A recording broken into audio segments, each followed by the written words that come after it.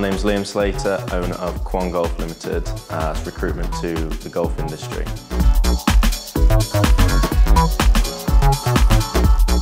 I was attracted to the industry because you know I was growing up in, in the golf industry from about 11 years old, always played it, um, sort of brought up to be a professional golfer, but quickly realised I wasn't good enough for that. um, so, so the business side always fascinated me.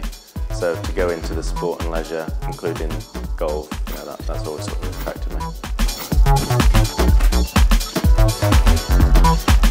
I spent two years on the Performance Golf Academy run by Derby College. Um, that was two and a half days academic at the college and two and a half days down at Morley Hayes. So um, spent a bit of time playing golf as well as in the classroom.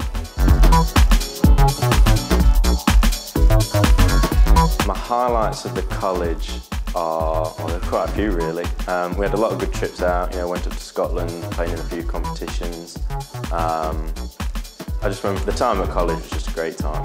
You know, the, the people who were here, the lecturers, um, the students, everything was great. I loved it. So I left college and then I went down to London to work at a golf club down there. Um, was there for a short time, then came back up home, worked in, uh, worked in a golf club up here. Um, then I went and worked in the commercial department at Notts County Football Club um, and that's when I realised that sort of the business development side was um, what I was good at. So I left there and decided to start my own company.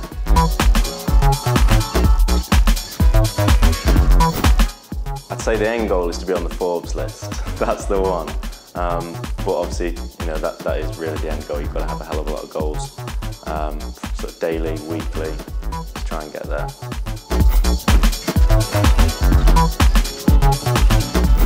Probably work harder and not procrastinate so much.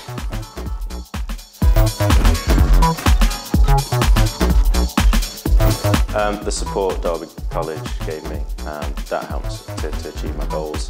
Even now, I know that you know my, my old tutor, Dom Taylor, um, spoke to him recently. He was great in you know, trying to help support my uh, sort of social media campaigns. Um, Nigel Furness, who, who, ran the Golf Academy, he's still to this day probably my number one mentor that I speak to quite frequently for advice, tips, and, and all the rest of it. So even now, I'm still getting support from the college, which is, which is fantastic.